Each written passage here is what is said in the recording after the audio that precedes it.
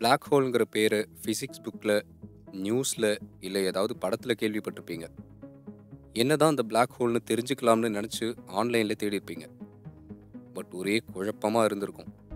இன்ட்ரெஸ்டெல்லார் படத்தை பார்த்த அப்புறம் எப்படி எல்லாரும் ஒன்றுமே புரியலையே அப்படின்னு புலம்பிட்டு இருந்தாங்களோ அது மாதிரி தான் நிறைய பேர் இருக்காங்க. ஸோ இந்த எபிசோடில் பிளாக் ஹோல்ஸை பற்றி தான் டீட்டெயில்டாக பார்க்க போகிறோம் பேசிக்கில் இருந்து ஆரம்பிக்கலாம். முதன் முதல்ல நம்ம பூமி தான் எல்லாத்துக்கும் நடுவில் இருக்கணும். மற்ற கோள்கள் எல்லாம் நம்மளை தான் சுற்றி வருதுன்னு நினச்சிட்டு இருந்தோம். அதுக்கு பேர் ஜியோசென்ட்ரிசம். அதுக்கப்புறம் பதினாறாம் நூற்றாண்டில் நிக்கோலஸ் கோப்பர்னிக்கஸ் அப்படிங்கிற ஒரு பல்கலை நிபுணர் தான் நம்மளை எல்லா கோள்களும் சுற்றலை நம்மளும் சரி நம்மளை சுற்றி இருக்கிற கோள்களும் சரி எல்லாமே சூரியனை தான் சுற்றிட்டு இருக்கோம் அப்படின்னு சொன்னார். அதுக்கு பேர் தான் ஹீலியோசென்ட்ரிசம்.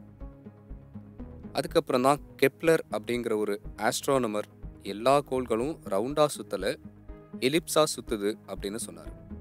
அதே நேரத்தில் தான் கலீலியோங்கிற இன்னொரு ஆஸ்ட்ரானமர் டெலிஸ்கோப் மூலமாக நிரூபித்தார் அவருக்கு முன்னாடி பல நூற்றாண்டுகள் பித்தாகரஸ் டாலிமி அரிஸ்டாச்சஸ் அப்படின்னு நிறைய பேர் இந்த விஷயங்களெல்லாம் சொன்னாலும் அவங்களால இதை முழுசாக நிரூபிக்க முடியல.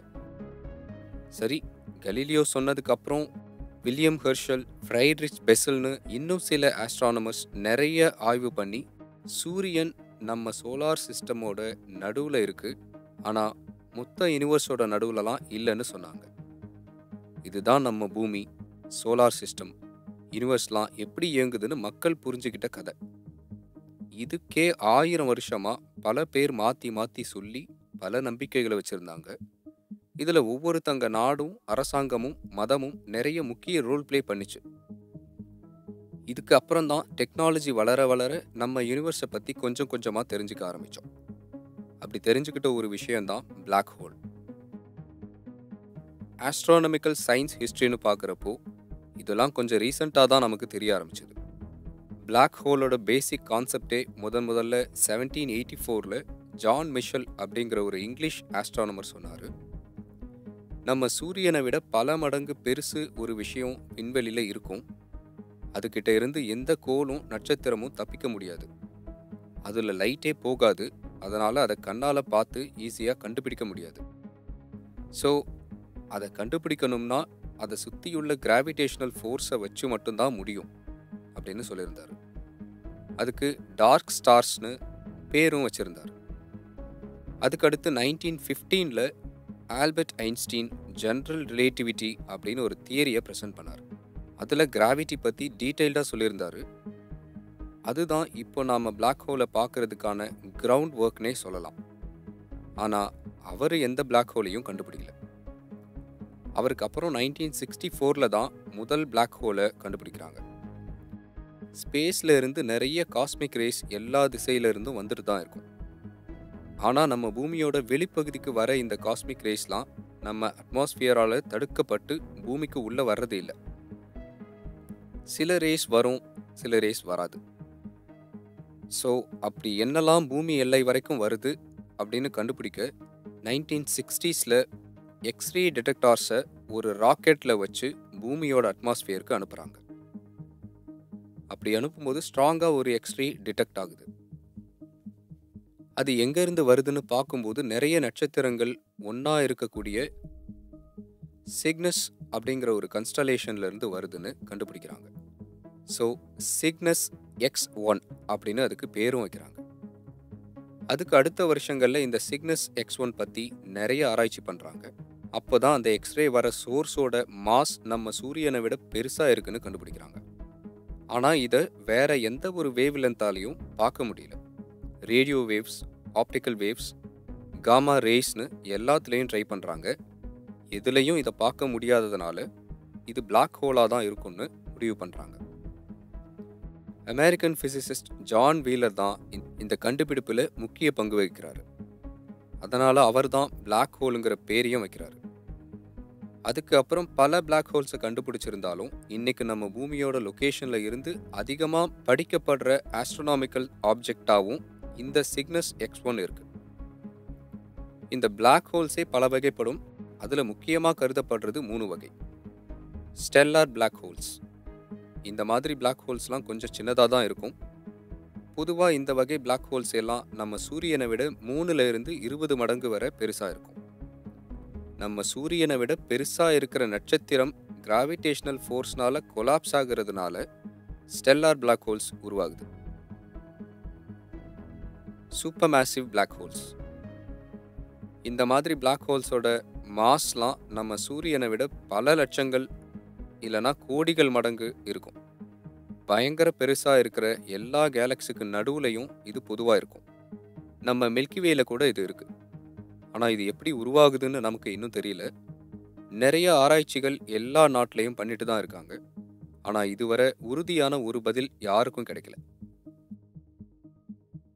இன்டர்மீடியட் பிளாக் ஹோல்ஸ் பேருக்கு ஏற்ற மாதிரியே ஸ்டெல்லார் பிளாக் ஹோல்ஸ்க்கும் சூப்பர் மேசிவ் பிளாக் ஹோல்ஸ்க்கும் நடுவில் இருக்கிறது தான் இன்டர்மீடியட் பிளாக் ஹோல்ஸ் எப்படி ஒரு விதையிலிருந்து பெரிய செடி வளருதோ அது மாதிரி இந்த இன்டர்மீடியட் பிளாக் ஹோல்ஸுங்கிற விதையில இருந்து தான் பல மடங்கு பெருசாக இருக்கிற சூப்பர் மேசிவ் பிளாக் ஹோல்ஸ் உருவாகலாம்னு நினைக்கிறாங்க. ஆனால் இதை பற்றியும் நமக்கு முழுசாக இன்னும் தெரியல. என்னப்பா அதை பற்றி இன்னும் தெரில இதை பற்றி இன்னும் தெரிலன்னு சொல்கிற பிளாக் ஹோலை பற்றி அப்போ நமக்கு என்னதான் தெரியும்னு கேட்குறீங்களா உண்மையை சொல்லணும்னா பிளாக் ஹோலை பற்றி நமக்கு ரொம்ப கம்மியாக தான் தெரியும். தெரிஞ்ச விஷயங்கள் பற்றி சொல்கிறேன் கேளுங்க. ஈவெண்ட் ஹாரிசான் இதை சிம்பிளாக சொல்லணும்னா ஒரு பிளாக் ஹோலோட வாய் பகுதின்னு சொல்லலாம். இதுக்குள்ளே போயிட்டோம்னா அப்புறம் அதிலிருந்து வெளியே வரவே முடியாது. இதை தான் பாயிண்ட் ஆஃப் நோ ரிட்டர்ன் அப்படின்னு இங்கிலீஷில் சொல்லுவாங்க. இந்த ஈவெண்ட் ஹாரிசானை சுற்றி உள்ள கிராவிடேஷனல் ஃபோர்ஸை வச்சு இதை கண்டுபிடிக்கலாம். சிங்குலாரிட்டி ஒரு பிளாக் ஹோலோட நடுப்பகுதியில் கிராவிட்டி ரொம்ப கடுமையாக இருக்கும். அந்த இடத்துல போகிற எந்த ஒரு விஷயமும் எண்ண முடியாத அளவுக்கு சுருங்கிடும்னு கருதப்படுது. இந்த இடத்துல ஸ்பேஸும் டைமும் இன்ஃபைனைட்டாக ஆகிறதாவும் கருதப்படுது. கிராவிடேஷனல் வேவ்ஸ் சில நேரங்களில் ஒரு பிளாக் ஹோல் விண்வெளியில் இருக்கிற மற்ற விஷயங்களை அதோட இழுத்து ஒன்றா சேர்த்துக்கும். அப்படி பண்ணும்போது நட்சத்திரங்களும் வரலாம் மற்ற பிளாக் ஹோல்ஸும் கூட வரலாம். அப்படி சேரும்போது ஒரு வகையான புவியீர்ப்பு அலை பரவப்படுது. அதை தான் கிராவிடேஷனல் வேவ்ஸ்னு சொல்கிறோம் இந்த மாதிரி ஒரு கிராவிடேஷனல் வேவை முதல் முதலாக டூ தௌசண்ட் ஃபிஃப்டீனில் தான் நம்ம கண்டுபிடிச்சோம். அமெரிக்காவில் இருக்கிற லேசர் இன்டர்ஃபெரோமீட்டர் கிராவிடேஷனல் வேவ் அப்படின்னு சொல்லக்கூடிய லிகோ அப்சர்வேட்டரி தான் கண்டுபிடிச்சாங்க. இதன் மூலமாக ஒரு பிளாக் ஹோலை இப்படி கூட கண்டுபிடிக்கலாம்னு புரிஞ்சுக்கிட்டாங்க. அதே நேரம் ஐன்ஸ்டீனோட தியரி ஆஃப் ஜென்ரல் ரிலேட்டிவிட்டிக்கு சான்றாவும் இதை பார்த்தாங்க. ஹாக்கிங் ரேடியேஷன் ஸ்டீஃபன் ஹாக்கின்ஸோட கான்செப்ட் படி பிளாக் ஹோல்ஸோட வாய்ப்பகுதியான ஈவெண்ட் ஹாரிசான் பக்கத்தில் நடக்கிற குவாண்டம் எஃபெக்ட்ஸ்னால தெர்மல் ரேடியேஷன் வெளியாகும். அதை தான் நம்ம ஹாக்கிங் ரேடியேஷன் சொல்கிறோம் அந்த கான்செப்ட் படி பார்க்கும்போது பிளாக் ஹோல்ஸ் எல்லாமே காலப்போக்கில் கொஞ்சம் கொஞ்சமாக அதோட எனர்ஜியை எழுந்துட்டு வரும். ஒரு கட்டத்தில் இந்த பிளாக் ஹோல்ஸ் அப்படியே எவாப்ரேட் ஆகிடும் ஆனால் நம்ம ஆராய்ச்சி படி இந்த ரேடியேஷனோட அளவு ரொம்ப கம்மியாக இருக்கிறதுனால இது வரைக்கும் நேரடியாக நம்மளால் அதை டிடெக்ட் பண்ண முடியல. சரி இதெல்லாம் நமக்கு தெரிஞ்ச விஷயங்கள் தெரியாத விஷயங்கள் என்னென்னு அடுத்து பார்க்கலாம். மற்ற ஸ்டார்ஸை பார்க்குற மாதிரி பிளாக் ஹோல்ஸை நம்மளால் பார்க்க முடியாதப்போ எப்படி நம்ம இன்னும் நிறைய தெரிஞ்சுக்க முடியும்? சூப்பர் மேசிவ் பிளாக் ஹோல்ஸ் உண்மையிலேயே எப்படி உருவாகுது? பிளாக் ஹோல்ஸ்குள்ளே வார்ம் ஹோல்ஸ் இருக்குமா? அது வழியாக ஸ்பேஸில் வேற ஒரு பாயிண்ட்க்கோ இல்லை டைம்க்கோ போக முடியுமா? பிளாக் ஹோல் உள்ளே போகிற இன்ஃபர்மேஷன்லாம் என்ன ஆகுது? எல்லாம் காணாமல் போயிடுமா? இதை தான் பிளாக் ஹோல் இன்ஃபர்மேஷன் பாரடாக்ஸ்னு சொல்கிறோம் ஒரு பிளாக் ஹோல் உருவாகிறதுக்கு எவ்வளோ காலமாகும்? ஒரு பிளாக் ஹோலால் ஒரு முழு கேலக்சியவே அதுக்குள்ளே இழுத்துக்க முடியுமா? இந்த மாதிரி பல கேள்விகளுக்கு இன்னும் தெளிவான ப்ரூவ் பண்ணப்பட்ட பதில் நம்மக்கிட்ட இல்லை. இதனால தான் பிளாக் ஹோல்ஸ் எல்லாம் நமக்கு இன்னும் ஒரு மிஸ்ட்ரியாகவே இருக்குது டூ தௌசண்ட் நைன்டீனில் தான் வரலாற்றிலேயே முதன் முறையாக ஒரு உண்மையான பிளாக் ஹோல் எப்படி இருக்குங்கிற ஃபோட்டோவை ரிலீஸ் பண்ணாங்க. ஆனால் ஒரு டெலிஸ்கோப் மட்டும் இதுக்கு பத்தலை. உலகம் முழுக்க எட்டு ஹை ஆல்டிடியூட் டெலிஸ்கோப்ஸை ஒன்றா சிங்க்ரனைஸ் பண்ணி அப்புறம் தான் இதை எடுத்தாங்க. அண்டார்டிகாவில் இருந்து கூட ஒரு டெலிஸ்கோப் இதுக்காக பயன்படுத்தப்பட்டுச்சு. இது ஆஸ்ட்ரானமிலேயே ஒரு முக்கியமான விஷயமாக கருதப்படுது. படங்களில் கூட பிளாக் ஹோல்ஸ் பற்றி பேசியிருக்காங்க.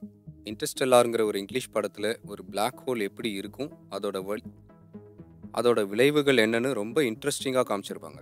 பிளாக் ஹோல்ஸ் பற்றி இன்ட்ரெஸ்ட் இருக்கிற எல்லாரும் கண்டிப்பாக அந்த படத்தை பார்க்கலாம்.